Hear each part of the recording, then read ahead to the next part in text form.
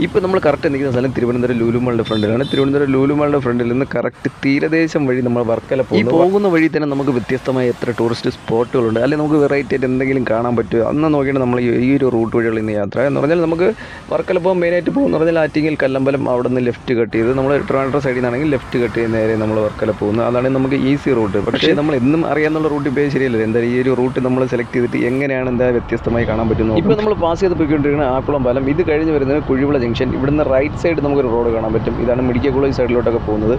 ഇവിടെ റൈറ്റ് സൈഡും ലെഫ്റ്റ് സൈഡും നമുക്ക് രണ്ട് വലിയ ചുവരുകളാണ് ഈ ലെഫ്റ്റ് സൈഡിൽ നിന്നുണ്ട് ഒരുപാട് ഇതേ കണക്കുള്ള ചിത്രങ്ങളൊക്കെ കുറേ കലാകാരന്മാർ രണ്ടായിരത്തി പതിനെട്ടിലാണ് തോന്നുന്നത് ആ ഒരു സമയങ്ങളിൽ ഒരു വരച്ച് ഉണ്ടാക്കിയതാണ്. ഇപ്പോഴും വലിയ കേടുപാടും കൂടാതെ ഇപ്പോഴും അതേ കണക്കിന് ഇങ്ങനെ പോകുന്നുണ്ട്. നമ്മൾ ഇത് കഴിഞ്ഞ് നേരെ പാസ് ചെയ്ത് പോകുന്നതിന് നമ്മൾ ടെക്നോ പാർക്കിന്റെ മുൻവശം ആ ഒരു ഏരിയയിലോട്ടാണ് പോകുന്നത്. എനിക്ക് തോന്നുന്നു ടെക്നോ പാർക്ക് നമ്മളെ ലുലു മാൾ ഇതെല്ലാം വന്നപ്പോൾ ഏറ്റവും കൂടുതൽ ഡെവലപ്പ് ആയിട്ടുള്ള ഒരു ഏരിയ എന്ന് പറഞ്ഞാൽ നമ്മൾ ഈ കാണുന്ന കുറേ പ്രദേശങ്ങളാണ്. നമ്മൾ എന്തായാലും എന്നെ ചെറുതർ മുന്നോട്ട് പോകുന്നില്ല. ഇവിടെ നിന്ന് ലെഫ്റ്റ് കട്ട് നമ്മൾ ഫസ്റ്റ് കയറുന്ന ജംഗ്ഷനാണ് മറ്റേ സ്റ്റേഷൻ കടവ്. ഇവിടെ നിന്ന് ഒരു അഞ്ച് റോഡ് വരുന്നുണ്ട്. നമുക്ക് ഇവിടെ നിന്ന് രണ്ടാമത്തെ റൈറ്റാണ് നമ്മൾ പോകുന്നത്. അതാണ് നേരെ പെരുമാതുറ വഴി നമുക്ക് അഞ്ച് തെങ്ങ് അങ്ങനെ വർക്കല പോകാൻ പറ്റുന്നത്. നമ്മൾ ഈ പോകുന്ന റൂട്ടിൽ എന്ന് പറഞ്ഞാൽ ഒറ്റ സ്ഥലം അല്ല നമ്മൾ ലക്ഷ്യം. എന്ന് പറഞ്ഞാൽ നമ്മൾ പല സ്ഥലങ്ങളാണ്. നമുക്ക് എന്ന് പറഞ്ഞാൽ ഈ ഏരിയയിൽ നമുക്ക് കയറാൻ പറ്റുന്ന മാക്സിമം ഏരിയ നമ്മൾ എന്തായാലും കവർ ചെയ്തായിരിക്കും പോകുന്നത്. ഇപ്പോൾ നമ്മൾ പാസ് ചെയ്താണ് മറ്റേ സെന്റ് സേവേഴ്സ് ഈ പോകുന്ന റൂട്ടിൽ തന്നെ ഒരുപാട് പ്രശസ്തമായ ആരാധനാലയങ്ങളും ഒരുപാട് കോളേജും ബൈ കാര്യങ്ങളും എല്ലാം തന്നെ ഉണ്ട്. നമ്മൾ നമുക്ക് ഈ റൂട്ടിൽ പോകുമ്പോൾ എന്ന് പറഞ്ഞാൽ വെറൈറ്റി ആയിട്ടുള്ള ടൂറിസ്റ്റ് സ്പോട്ടുകളെല്ലാം നമുക്ക് എന്ന് പറഞ്ഞാൽ നമുക്ക് ഇഷ്ടപ്പെട്ട മീനോ ബാക്കി കാര്യങ്ങളോ വാങ്ങുന്നുണ്ടെങ്കിൽ ഇതേ കണക്കുള്ള ചെറിയ ചെറിയ സ്പോട്ടുകളുണ്ട്. ഇത് മരിയനാടാണ്. ഈ സ്ഥലത്തിന്റെ പേരാണ് മരിയനാട്. നമ്മളെ ഇത് പെരുമാതുറ എത്തുന്നതിന് മുമ്പായിട്ടാണ് ഈ ഒരു സ്ഥലം വരുന്നതെന്ന് പറഞ്ഞാൽ ഇപ്പോഴെന്ന് പറഞ്ഞാൽ ഞാൻ വന്നത് ഒരു ഉച്ച സമയത്തുണ്ട് വലിയ മീനോ ബായി കാര്യങ്ങളോ ഒന്നും തന്നെ എല്ലാവരും കച്ചവടം കഴിഞ്ഞ് പോകുന്നതാണ് എനിക്ക് തോന്നുന്നത്. ഇവിടെ എന്ന് പറഞ്ഞാൽ പ്രത്യേകം പറഞ്ഞാൽ ഇവിടെ വള്ളത്തിൽ വരുന്ന മീനല്ലാതെ നമുക്കെന്ന് പറഞ്ഞാൽ അല്ലാതെ വെളിയിൽ നിന്ന് ഇവർ വണ്ടിയിലും ഇവിടെ കൊണ്ടുവന്ന് ലേലം ചെയ്യുന്നുണ്ട്. നമുക്ക് ആവശ്യമുണ്ടെങ്കിൽ ലേലം വിളിക്കാം. ഒരു ആയിരം രൂപ തുടങ്ങിയ ഒരു ലേലമാണ്. ആരും ഇല്ലാത്തതുകൊണ്ട് അതായത് എഴുന്നൂറ് രൂപ ഒരു റിവേഴ്സ് ആണ് ഇപ്പോൾ വിളിക്കുന്നത്. എഴുന്നൂറ് രൂപയ്ക്കാണ് ഇപ്പോൾ വിളിച്ചുകൊണ്ടിരിക്കുന്നത്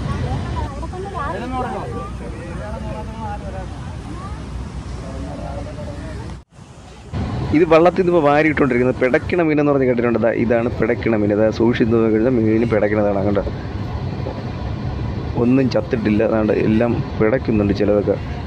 ഇത് ആ വള്ളത്തിൽ നിന്ന് ഇറക്കിയതല്ല ഇത് തൊട്ടപ്പുറത്ത് ഇപ്പോൾ ഒരു വണ്ടിയിൽ നിന്ന് ഇറക്കി കൊണ്ടുവന്ന സാധനമാണ്. അതും ലേലം വിളിക്കാൻ കൊണ്ടുവച്ചിട്ടുണ്ട്. പക്ഷേ ആരും വലുതായിട്ട് വിളിക്കുന്നില്ല.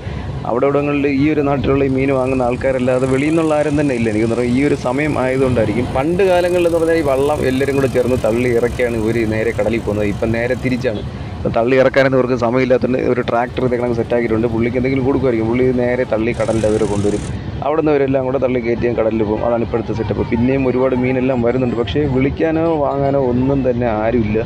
എന്തായിരിക്കും എന്ന് ഇനി. എന്നിട്ട് മീനാണെങ്കിൽ എവിടെ വെളിയിൽ പോയി വാങ്ങണമെങ്കിൽ നല്ല വിലയായിരിക്കും. ഇവിടെ വന്നിട്ട് മീനില്ല. ആവശ്യമായിട്ടുണ്ട്.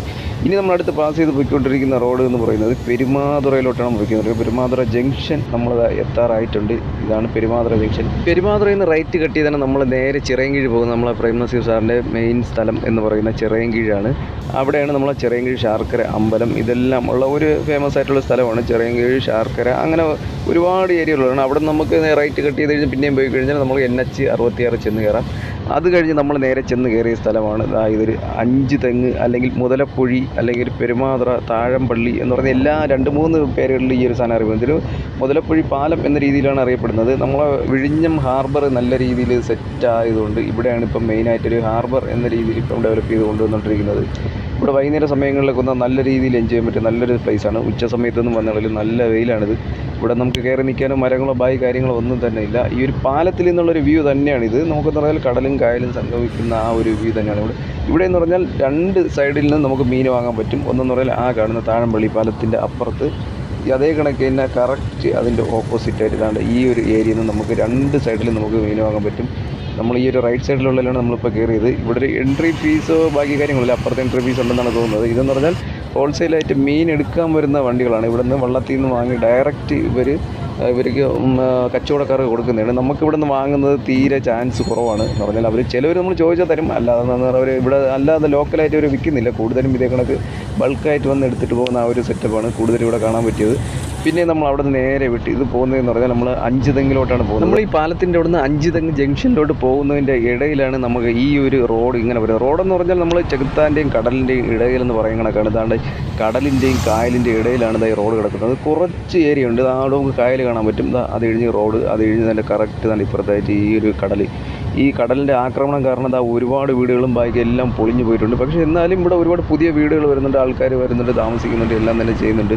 പക്ഷേ അവർക്ക് പോകാൻ വേറെ സ്ഥലങ്ങളോ ബൈ കാര്യങ്ങളോ ഒന്നും ഇല്ലാത്തതുകൊണ്ടായിരിക്കും. അതെന്താണ് കാര്യങ്ങളൊന്നും അറിയത്തില്ല. നമ്മളിനി അടുത്ത് നേരെ എത്തിപ്പെടുന്ന ഒരു സ്ഥലമാണ് അഞ്ചുതെങ്ങ് കോട്ട.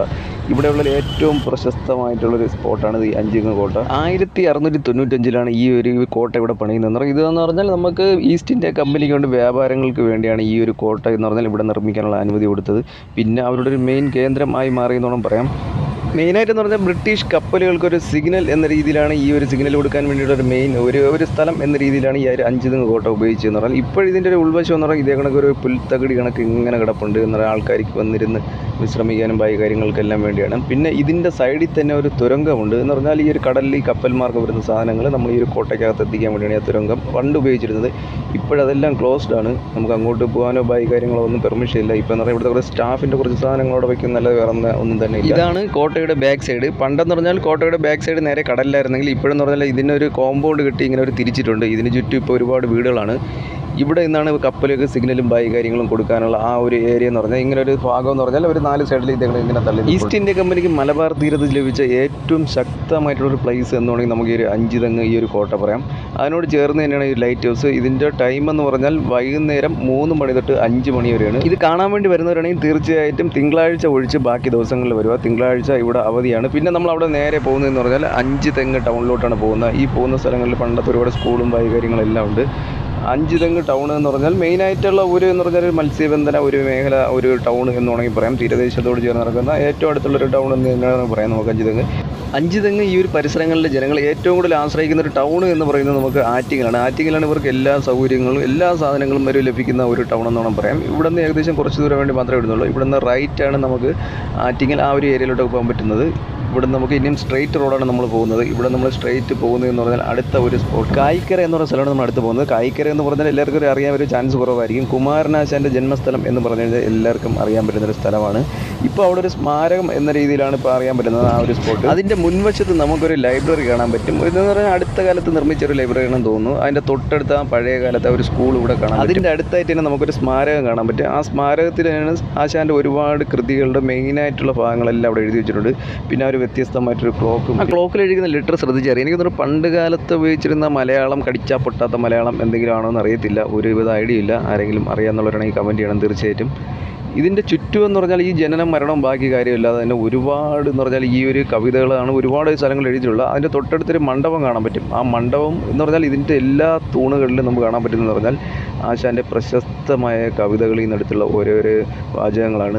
ഇതെന്നുള്ള ചിന്താവിഷ്ട സീത എന്നെടുത്തുള്ള ഒരു വാചകം കൂടെ എഴുതിയിട്ടുണ്ട്.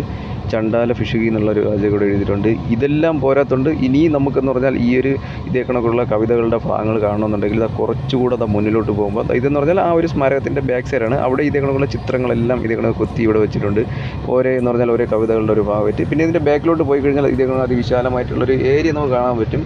ഇതിന്റെ ഈ ചുവരുകളിൽ തന്നെ ഒരുപാട് സ്ഥലങ്ങളിൽ കാണണ്ട ഇതേ കണക്ക് എല്ലായിടത്തും ഈ ഒരു ആശാന്റെ കവിതകളുടെ പ്രശസ്തമായ ഭാഗങ്ങൾ ഇവിടെ എല്ലാം എഴുതിയിട്ടുണ്ട്. ഇവിടെ വന്നാൽ മാത്രം മതി മാക്സിമം നമുക്ക് കവിതകൾക്ക് മെയിനായിട്ടുള്ള കവിതകളെല്ലാം പഠിക്കാൻ ഇവിടെ ജസ്റ്റ് എന്ന് പറഞ്ഞാൽ അഞ്ച് ദിവസം വന്നിരുന്നാൽ ഇവിടുത്തെ കവിതകളെല്ലാം മെയിനായിട്ട് പഠിച്ചെടുക്കാം.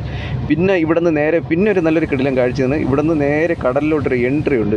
എന്ന് പറഞ്ഞാൽ വലുതായിട്ട് ആൾക്കാർ വരാത്തതുകൊണ്ട് എല്ലാം കാട് പിടിച്ച് ഇങ്ങനെ കിടക്കുന്നത് ഒരുപാട് ആൾക്കാരൊക്കെ വരുന്നത് നല്ല രീതിയിൽ ഡെവലപ്പ് ആവുന്ന ഒരു ഏരിയയാണ് ആശാന്റെ വീടിനോട് ചേർന്നുള്ള ഒരു പ്ലേസാണ് ഇവിടേക്ക് ഇരുന്ന് കഴിഞ്ഞാൽ എന്തായാലും നമ്മൾ എന്തായാലും കവിതയൊക്കെ പഠിച്ചു. അത്രയ്ക്ക് മാത്രം കിട്ടിലും പ്ലേസാണ് നമ്മളെന്ന് പറഞ്ഞാൽ നമ്മളങ്ങനെ കായ്ക്കര എന്ന് യാത്ര പറഞ്ഞ് നേരെ ചെന്ന് കയറുന്ന ഒന്നാം പാലം എന്ന് പറയുന്ന സ്ഥലമാണ്. ഒന്നാം പാലം പാർവതി പുത്തനാറിന്റെ മുകളിൽ കൂടെ ഇങ്ങനെ പാസ് ചെയ്ത് പോകുന്ന ഒരു ഇത് പാലമാണ് ഒന്നാം പാലം. ഇതാണ് നമ്മുടെ പാർവതി പുത്തനാറ്. ഇതിന്റെ സൈഡിലൂടെയാണ് ഇനി നമ്മൾ നേരെ വർക്കലയിലോട്ട് വച്ച് വിടുന്നത്. വർക്കലയിലോട്ട് പോകുന്ന വഴി തന്നെ ചെറിയൊരു സ്പോട്ട് നമുക്ക് കാണാൻ പറ്റും. ഇതും നമ്മൾ വലുതായിട്ട് ആൾക്കാർ വരാത്തതുകൊണ്ട് നശിച്ച് പൊയ്ക്കൊണ്ടിരിക്കുന്ന ഒരു സ്മാരകമാണ്. നിങ്ങൾ തീർച്ചയായിട്ടും ഈ വീഡിയോ കാണുന്നവരാണെങ്കിൽ വരാൻ പറ്റുന്നവരാണെങ്കിൽ തീർച്ചയായിട്ടും വരിക. ഇതെന്ന് പറഞ്ഞാൽ സൈഡിൽ തന്നെ ഒരു ബോട്ട് കയറാൻ വേണ്ടിയുള്ള ചെറിയൊരു ബോട്ട് ജെട്ടി കണക്കുള്ളൊരു സംഭവം ഇവിടെ റെഡിയാക്കിയിട്ടുണ്ട്. ഈ പാലം എന്ന് പറഞ്ഞാൽ ഏകദേശം പൊളിഞ്ഞ് ഒരു അവശിഷ്ടം ഒരു ആ ഒരു ലെവലിലോട്ട് എത്തിക്കൊണ്ടിരിക്കുകയാണ്. എന്നാണ് ഇത് പൊളിഞ്ഞ് താഴോട്ട് പോകണമെന്ന് അറിയാൻ പറ്റില്ല. ആ ഒരു കണ്ടീഷനാണ്. ഇവിടെ കെട്ടിരിക്കുന്ന ചെറിയൊരു കുറേ ബിൽഡിംഗ് കണ്ടിരിക്കാൻ വേണ്ടിയുള്ള പ്ലേസും ബായി കാര്യങ്ങളൊക്കെ ഉണ്ട്. ഇതൊക്കെ ഇപ്പം നോക്കാനോ ബായി കാര്യങ്ങൾക്ക് ആരും ഇല്ലാത്തതുകൊണ്ട് എല്ലാം നശിച്ചു പോയിട്ടുണ്ട്. ഇത് അറിവാളം ബീച്ച് എന്നാണ് ഇത് അറിയപ്പെടുന്നത്. അറിവാളം ബീച്ച് രണ്ടായിരത്തി പതിനാറിലാണ് ഈ ഒരു അറിവാളം ബീച്ച് ഓപ്പൺ ആയത്.